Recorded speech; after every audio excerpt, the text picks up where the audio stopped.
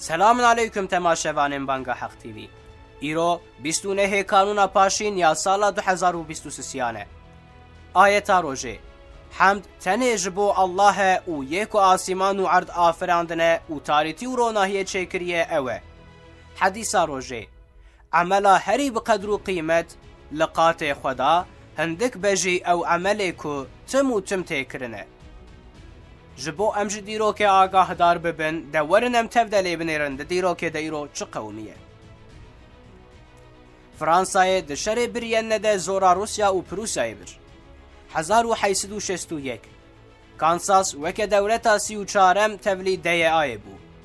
Hezar û neh sed û şazdeh, Şerê Cîhanî yê Yekem, Parîs cara yekem ji aliyê zeplînên almanan ve hate bombebarandin.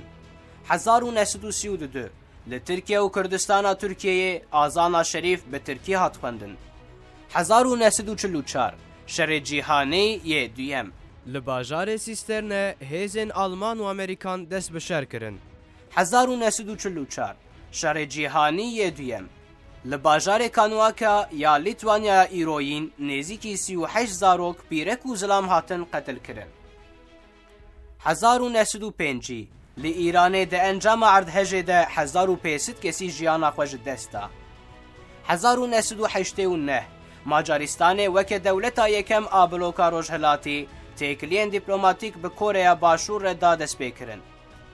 Du hezar û du du George Bush dewletên Iraq, Îran û Koreya Bakur weke dewletên alîkarê terorîzmê nîşan dan. Du hezar û şazdeh Li Cenewreyê hevdîtinên Sûriyeyê dest pê kirin.